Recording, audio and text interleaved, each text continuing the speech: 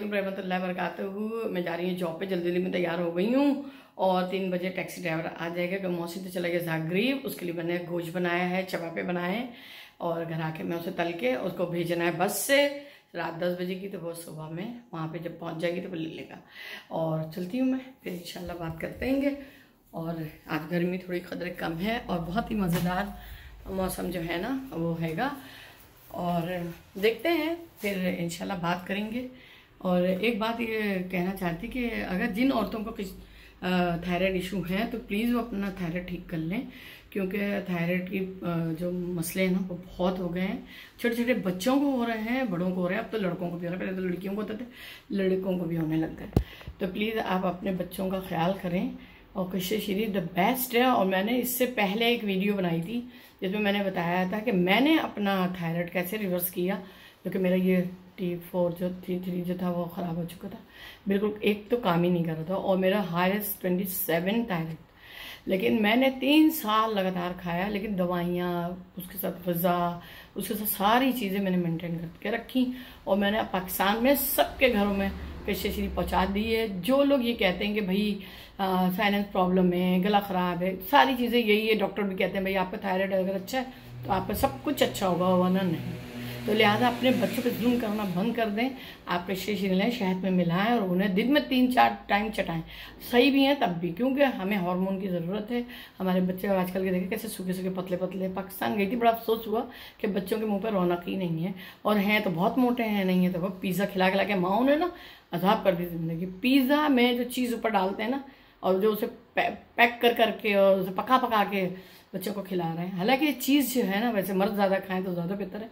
मैंने औरतों को नहीं देना चाहिए, क्योंकि वो एक गर्म चीज़ है और उसको सड़ाया जाता है, बाकायदा उसे रखा जाता है, फिर उसके बाद फंगस उतारा जाता है, फिर वो कहीं खाई जाती है, वो बहुत गर्म होती है। तो लड़के खा लें मगर लड़कियों को ना दें।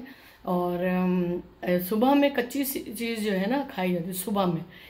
अब क्या है, लोग उन्हें उन्हें रबड़ की तरह खिला देते हैं।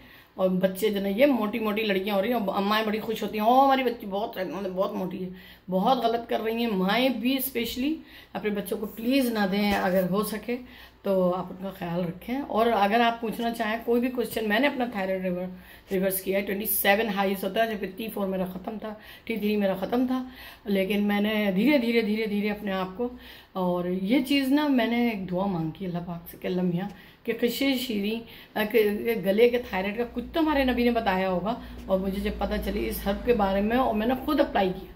वरना मेरे सारे बाल ख़राब हो गए थे, सब कुछ ख़त्म हो गया था। और माशाल्लाह माशाल्लाह, मेरा जो रिवर्स हुआ है ना थायराइड मुझे बहुत खुशी है और मैं सबको बताती हूँ। कुछ तो हंस देते हैं और कुछ अप्लाई करते हैं और जो खाते हैं वो फ़ायदे में होते हैं जो नहीं खाते। जब मैं पाकिस्तान गई पिछले साल, वहाँ सबको कोरोना की खांसियाँ ख़त्म नहीं हुई थी और मैंने सिर्फ़ एक एक चुटकी में सोते वक्त ऐसी ही डाल दी। और ट्रेन में सारी लड़कियों को खांसी थी क्योंकि पेप्सी कोका कोला पी रही थी, खांस रही थी, जी, क्या कहते हैं? सोना आराम किया हुआ था। तो मैंने सारी बच्चियों को एक एक एक एक एक चुटकी खिलाई। अल्हम्दुलिल्लाह, सारी बच्चियाँ भी खुश। अब सब जान गए। जो लोग जान गए भाई, वो फ़ायदा उठा रहे हैं। जो नहीं जान रहे हैं वो फ़ायदा नहीं उठा रहे हैं। उसको एक नॉर्मल सी चीज़ दे रहे हैं हमारे नबी ने बताया, अगर किसी को पता चल जाए तो सोने के भाव बिकेगा। और कलौजी को ले लिया भाई, काम के अलावा सब कुछ। अरे भाई, कलौजी नहीं है खाने की, इतनी मेथी दाना नहीं है खाने का। लोग इस बात को रियलाइज़ ही नहीं करते हैं कि वो इतनी गर्म है। है, उसके खाने के कुछ आधार हैं। उसको भिगो, उसे ड्राई करो, उसके बाद उसे खाओ, उसका पाउडर बनाओ। यकीन करें कि जो किसी शीरी चीज़ है ना, वो किसी में नहीं। और एक ऊँट कटारा, उसके बारे में मैं आपको बताऊँगी। सबसे ज़्यादा है होती मिल्क टेस्टली कहते हैं उसको, लेकिन ओरिजिनल आप खाएँ। यकीन करें कोलेस्ट्रॉल वगैरह शुगर जो डायबिटीज़ है, बंदा पाँच दिन खा के देख ले दवाई छोड़ के। और यकीन करें कि उसका फ़ायदेमंद होगा। क्योंकि फैटी लीवर ये वो सब इवन मैं दो दो हज़ार 2008 में मैं चल भी नहीं पा रही थी, लेकिन अल्हम्दुलिल्लाह ऊँट कटारे की बरकत से, क्योंकि मेरे नबी ने कहा हब्बे जमल शक जमल और अब्बे जमल, इस तरह कुछ कहा जाता है। मैंने फिर सारी जगह ढूंढा ढूंढा ढूंढा और फिर अलहमदिल्ला मुझे वो चीज़ मिली और मैंने अप्लाई करी, अपने ऊपर खाए। मैंने बहुत और अब भी मैं खाती हूँ, अगर मेरे सर में दर्द हो तो थोड़ा सा लेके खा लो पानी के साथ। किसी को विटामिन डी की कमी है अगर, और वो विटामिन डी के साथ को दूर करने के लिए क्या करें कि वो ये करें कि दूध के साथ उसको पका लें और ठंडा करके खाएँ। यकीन करें, मैंने कितने लोगों को भेजी मिल्क टेस्टली।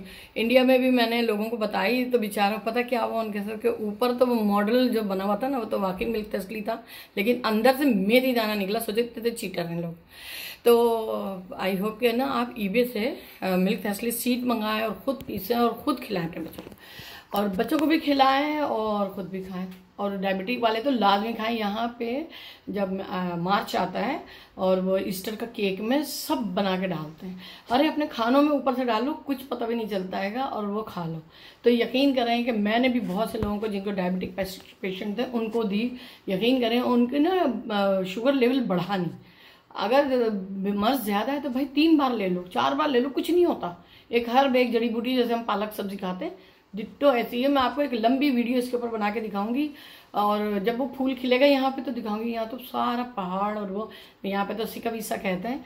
और मैंने बहुत से लोग जो आते हैं टूरिस्ट आते हैं, उनको भी बताती हूँ, वो ले, लेके जाते हैं और लोगों ने खाई है। इवन कमर में दर्द लीवर किडनी फेलियर पर्सन जिसको भी जो भी बीमारी है, यकीन करें वो ख़त्म होगी। और हमारी एक दोस्त है यहाँ पे, मैं उससे मिलवाऊँगी, आपकी उसकी शादी भी होने वाली है। तो मैंने उसको बताया था ल्यूपस में उसने इतना हेल्प किया। और उसने खाया, उसकी नेगेटिव रिपोर्ट भी आई। तो भाई, बंदा जो है ना, सोचना चाहिए जंक फ़ूड ये वो, सरसों का तेल खाओ, गोश्त खाओ शीप का गोश्त खाओ, अपने बच्चों को खिलाओ शीप के देखिए कितने बाल होते हैं। जब गोश्त खाएगा तो वो गंजा तो कभी भी नहीं होगा बंदा। तो बहरहाल, मैं आपको बारे में बताऊँगी। अब मेरे ना तीन महीने में सिर्फ़ एक मिनट बाकी रह गया। अब मैं चलती हूँ। अल्लाह हाफिज़। ख्याल रखिएगा सबका। आमीन। अल्लाह हाफिज़।